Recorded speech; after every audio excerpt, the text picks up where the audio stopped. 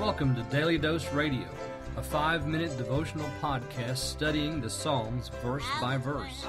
Broadcast from the ever beautiful Sharonville, Ohio, on the sunny side of Cincinnati. Welcome to Daily Dose Radio.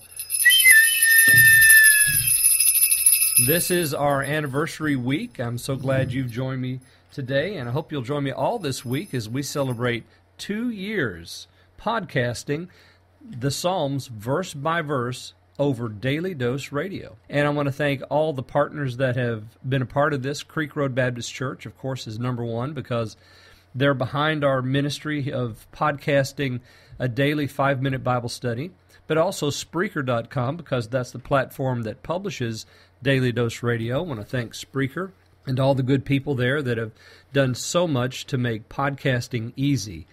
And then all the others who are a part of this. I mean, we, we go to SoundCloud and iTunes. Uh, iHeartRadio, of course, is a huge distributor of Daily Dose Radio. Clammr, we just got on Clammr, so if you if you like the Clammr app, you can go to the iTunes App Store and get Clammr. We're there now.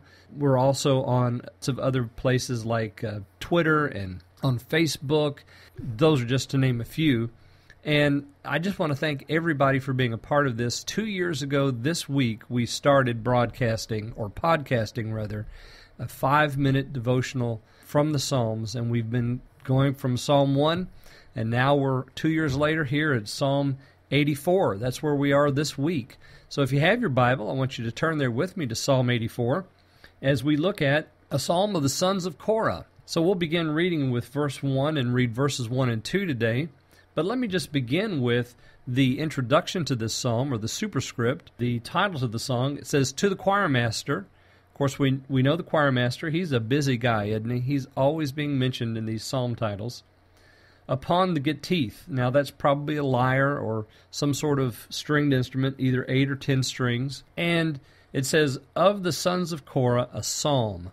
So, sons of Korah here, another group like uh, the Jeduthun choir and like the Heman choir, like these folks that have been involved so far, Asaph and his group. Uh, David, of course, had a great many of the Psalms in the early books of the Psalter, but now we've come to the third book of the Psalter, and Asaph has been our primary writer, but now we have this group, the sons of Korah. This we see sons of Korah six times in book two. This is the first time in book three, and there are four other mentions of them here in book three. So we'll look forward to seeing more from the sons of Korah.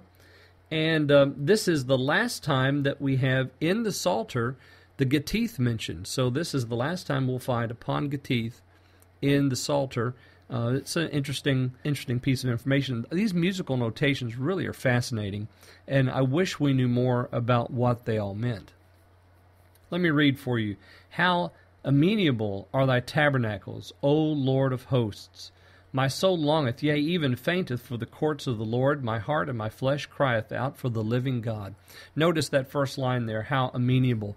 Uh, probably a better translation of that would be how lovely. How lovely are thy habitations. Now, this is a general statement because habitations is plural, and it's plural in the Hebrew. Your habitations is the way that's probably better translated. Your habitations. How lovely they are. Well, so he's not just talking about the temple or the tabernacle. Here he's talking about the dwelling places of those who believe in the Lord.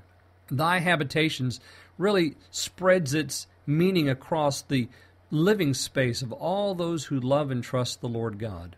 So your home would be involved in that as well. How lovely is your home?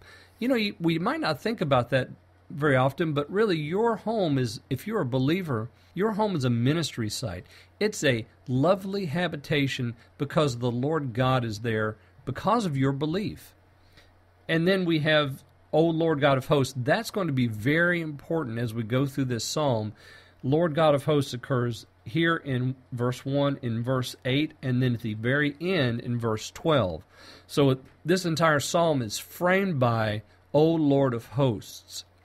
And notice that we're not beginning, and I've not tracked this here recently like I have in the past, but notice how we don't have this psalm beginning, O God.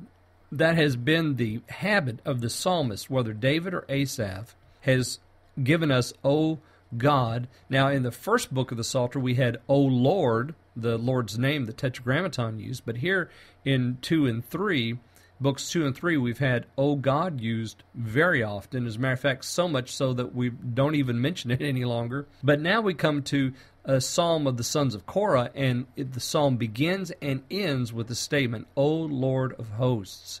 So we're going to watch that very closely as we go through the Psalter, or this particular psalm, Psalm 84.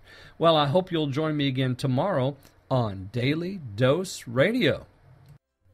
Thanks for listening to Daily Dose Radio. I'm David Smith. The music today has been performed by the Bluegrass Experiment. Thanks again for listening. I'll see you next time on Daily Dose Radio.